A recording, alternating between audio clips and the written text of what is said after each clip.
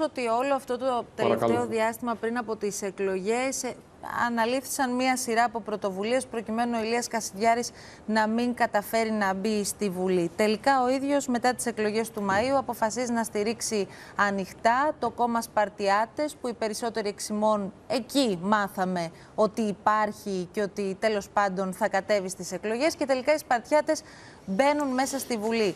Αυτό αποκαλύπτει αδυναμίες στους χειρισμούς όλου του προηγούμενου διαστήματος ή αποδεικνύει ότι κάτι δεν έγινε καλά όπως έπρεπε να γίνει, γιατί τελικώς, όπως λένε αρκετοί, ο Κασιδιάρης με έναν τρόπο ίσως και να τα κατάφερε και να έχει μπει αυτή τη στιγμή μες στο Ελληνικό Κοινοβούλιο.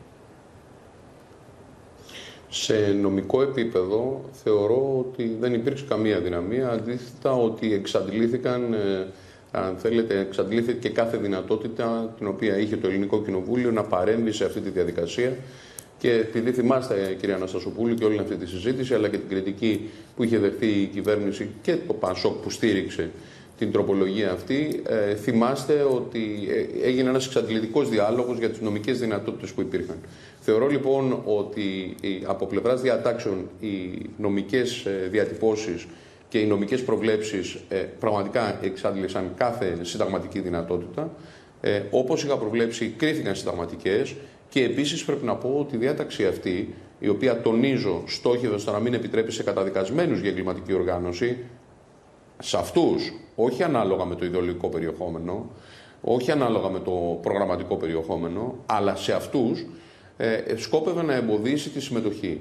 Ο Κασιδιάρης δεν έχει συμμετάσχει στις εκλογές. Η διάταξη έχει δουλέψει. Τον ακούσατε τον πρόεδρο. δύο φορές στον Τον ακούσατε τον πρόεδρο των Σπαρτιατών το βράδυ του αποτελέσματος των εκλογών; Είπε ότι ευχαριστούμε, λοιπόν... ευχαριστούμε τον Ηλία Κασιδιάρη που ήταν το κάψιμο το οποίο μας οδήγησε στη νίκη. Δηλαδή, εδώ Σωστά. ηλίου φαϊνότερο ότι ξέρετε κάτι. Εάν δεν ήταν ο Κασιδιάρης να κάνει τη δήλωση και προσέξτε, εγώ πιστεύω ότι την είχαν στημένη. Και μάλιστα την είχαν στημένη και σωστά από την πλευρά τους. Τι κάνανε; Κάνανε την αίτηση στον Άριο Πάγο. Πήρανε την έγκριση από τον Άριο Πάγο. Δεν έχει ακουστεί τίποτα για Κασιδιάρη και αμέσως μόλις γίνεται η αναγνώριση των Σπαρτιατών, βγαίνει εκπρόσωπος, η δικηγόρος του Ηλία Κασιδιάρη και λέει στηρίζει το κόμμα Σπαρτιάτες. Ε, αυτά όλα τα οποία επισημαίνετε κύριε Παπαδάκη είναι ζητήματα τα οποία προφανώς έχουν υποπέσει στην αντίληψή μας και είναι προς αξιολόγηση για να α, α, α, εδώ, εδώ, εδώ. Προς αξιολόγηση, προς αξιολόγηση σημαίνει τι. Γιατί υπάρχουν και κάποιοι συνταγματολόγοι οι οποίοι λένε και εσείς νομικός είσαστε και τα γνωρίζετε καλά, ότι υπάρχει περιθώριο να κινηθούν διαδικασίες δηλαδή; Δεν είναι κάτι στο οποίο θα επισέλθω στην παρούσα φάση. Το αφήνεται ανοιχτό το ενδεχόμενο δηλαδή; Δεν λέω κάτι γι' αυτό. Από τη γλώσσα του σώματος καταλάβαμε ότι αφήνεται ανοιχτό το ενδεχόμενο. Μαρία δεν ξέρω εσύ τι αντιλαμβάνεσαι; Το, το εννοείται βασιζόμενος στο γεγονός ότι Λέω ο αρχηγός αυτού μια... του κόμματος, κύριε Βορύδη, βγαίνει την ίδια βραδιά των εκλογών και λέει στην πραγματικότητα ότι ο πραγματικός αρχηγός του κόμματος είναι ο Ηλίας Κασιδιάρης. Εκεί δηλαδή θα μπορούσαν να πατήσουν ενδεχομένως νομικά κάποιοι ναι. και να κυρώσουν αυτό το κόμμα;